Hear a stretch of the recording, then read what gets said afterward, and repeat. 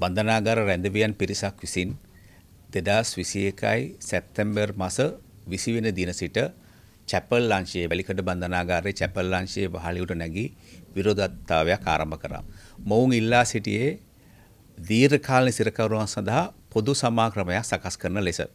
ඇත්තෙන්ම නීතිපති දෙපාර්තමේන්තුවත් අධිකරණ අමාත්‍යාංශයත් බන්ධනාගාර අමාත්‍යාංශයත් බන්ධනාගාර දෙපාර්තමේන්තුවත් එකතු වෙලා මේ සඳහා නිසි ක්‍රමවේදයක් සකස් කරලා තියෙනවා.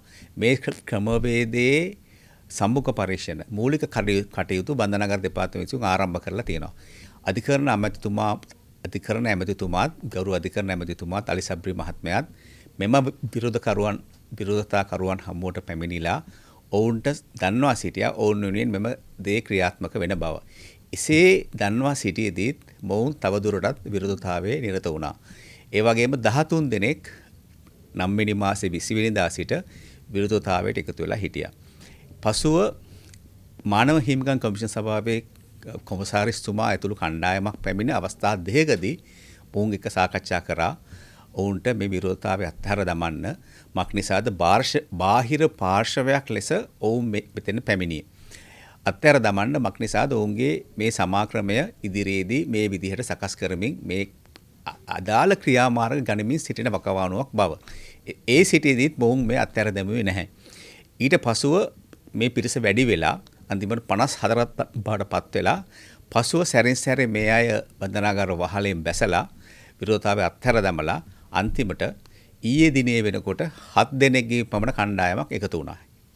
ඒ හත් දෙනාගේ කණ්ඩායමට අපි සොයා බලනකොට පරික්ෂා කරනකොට මේ අයට එක් අයෙක් අසනීප තියෙන අසනීප තත්ත්වයේ සිටින බව වාර්තා වුණා. බන්ධනාගාර සිරකරුවන් සැකකරුවන් ආරක්ෂා කිරීම ඔවුන්ගේ ඔවුන්ගේ සෞඛ්‍ය ගැන සොයා බැලීම බන්ධනාගාර දෙපාර්තමේන්තුවේ විශාල වගකීමක්. ඒ අනුව අපි තීරණය කරා මේ අයව වහලෙන් බස්සන්න. ඒ අනුව බන්ධනාගාර උපක්‍රම බලකාය විසින් උපක්‍රමශීලීව කිසිම හානියක් නොකර කිසිම කිසිම කිසිම තත්ත්වය ඉතාම හොඳින් පාලනය කරලා මේ සියලු දෙනාම ඊයේ රාත්‍රියේදී වහලෙන් බැස්සුවා. ඒ අනුව මෙම කණ්ඩායම තුල ශ්‍රී දූෂණ කරපු අය ඒ වගේම මද්‍රව්‍ය ජාවාරම් කරපු අයත් මේ කණ්ඩායමේ සිටිනවා. මොවුන්ට මොවුන් බන්ධනාගාර දෙපාර්තමේන්තුවේ දේපළවලට කරන ලද හානියට පොලිසිය මගින් පොදු දේපල ආඥා පනත යටතේ අවශ්‍ය කටයුතු කිරීමටත් බලාපොරොත්තු වෙනවා. බන්ධනාගාර දෙපාර්තමේන්තුවේ අනට කීකරු නොවීම ඒ වගේම මේ විදිහට විරෝධතාවය දැක්වීම ඇතුළු විනය විරෝධී කටයුතු රාශියක් මොවුන් විසින් සිදු කරලා තියෙනවා. මෙම විනය විරෝධී කටයුතු සඳහාත් බන්ධනාගාර ආඥා පනත යටතේ මොවුන්ට නීතිමය කටයුතු කරන්න බන්ධනාගාර දෙපාර්තමේන්තුව අවශ්‍ය කටයුතු කරනවා.